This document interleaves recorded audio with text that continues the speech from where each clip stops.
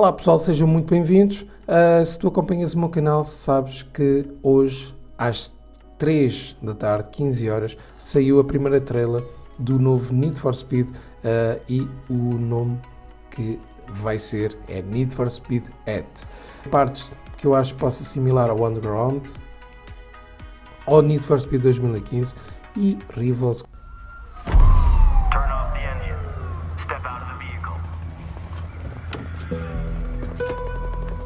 tiempo es el fuego en el que ardemos. Nice ride. But I'm gonna need those keys right now. I said right now! Every day is danger. So take no risks. Don't fuck up. Don't talk back.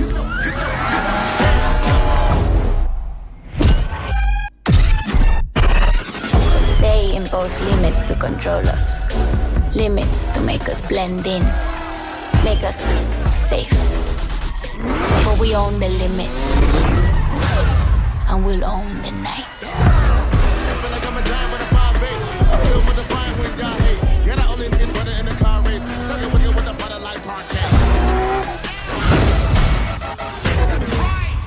You know how fast you were going? Survival of the fastest. No prizes for second place. But standing out means becoming a target.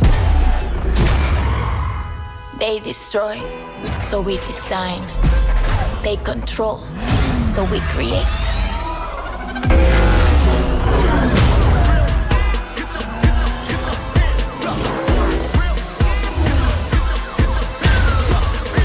If you catch fire, run. You'll burn faster.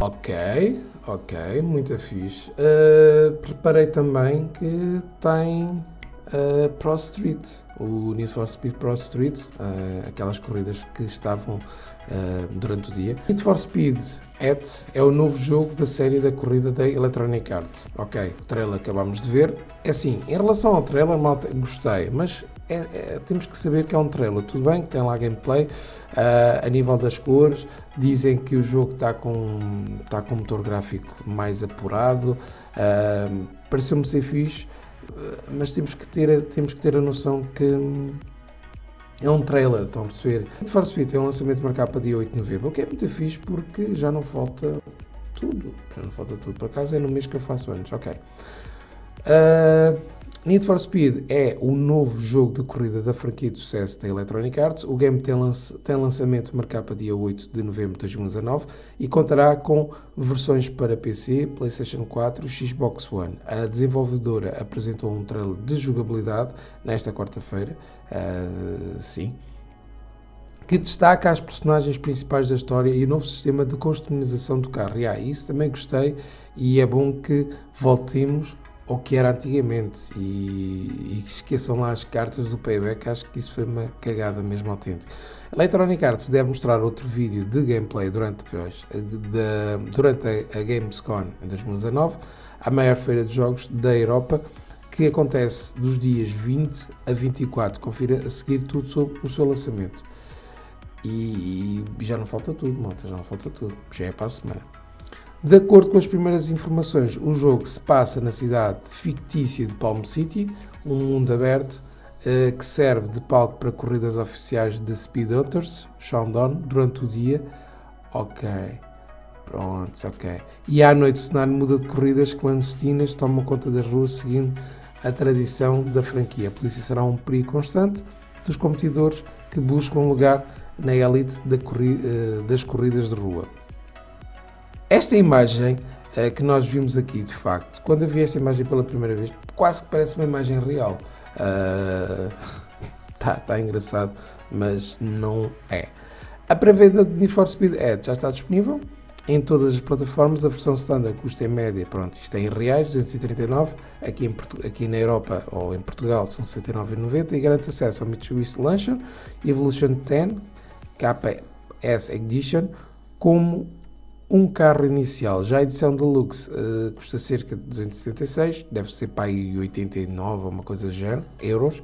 E concede os seguintes itens: Mitsubishi Lancer, o mesmo carro, BMW i8 Coupé, que é essa Edition, Mercedes C63 MG Coupé, é, Corvette, traje de personagem, bónus RP, bónus saldo e, é, e por aí, malta.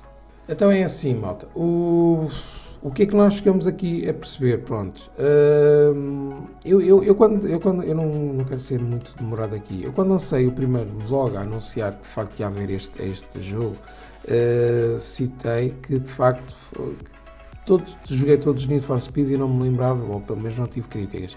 De facto, hoje a ler em fóruns esqueci-me de um pequeno pormenor.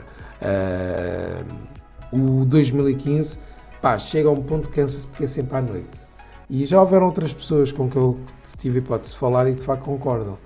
Este jogo, pelo que parece, uh, vai ter corridas durante o dia, mas a meu ver, a meu ver, tudo, e tudo leva a crer que vai, vai haver mais coisas à noite, porque hum, é, é, isto é aquela questão Uh, os tannings e corridas uh, ilegais e tudo por aí fora é tudo à noite que se passa, não é? Geralmente não é durante o dia. Por isso o jogo vai ter essas duas partes. Uh, obviamente vai ter aqui uma história, provavelmente há de, há de, haver uma história, como o Payback, há, vamos depois ficar a conhecer as personagens. O modo online não, dif, não deve diferir muito dos, dos anteriores, que te vai permitir uh, se calhar andar pela cidade à vontade uh, e depois participar nas playlists, que eles devem ter depois playlist. Uh, o jogo penso que necessita da ligação online, mas também já li que não é necessário sempre ter online. Uma das coisas que é extremamente importante aqui neste, nestes jogos, que têm ou que necessitam de cena de, de online, é os servidores estarem a funcionar como deve ser. Uh, isto porque se estás a fazer uma prova e depois aquilo vai abaixo, tudo o que tu fizeste naquele momento vai, vai de vela. Mas ok, malta, é assim, vou ficar por aqui. Uh, deem a vossa opinião, o que é que vocês acharam do jogo. Eu gostei da trailer. Uh, vamos ver também como é que isto estará na PlayStation 4. Uh, no PC deve estar um, um máximo, é? com as novas RTX e o caralho Nvidia, isto deve estar mesmo um colosso. E é já dia 8. Vamos ver mais informações já para a semana, na, na tal feira da Campscon. E é isso, malta. Espero que tenhas gostado. Já sabes, aperta aí o botão do like se caso que tenhas gostado. Deixa os teus comentários também sobre esta franquia, se gostas de jogar, se, porque já, já vi pessoas também na, na Eurogamer, muitos que. Epá, pessoal que, que chegou a uma altura se cansou deste jogo. E pá, deixa aí, deixa aí que eu terei todo o prazer em ler os teus comentários, ok? Mais uma vez, portem-se bem. Fui.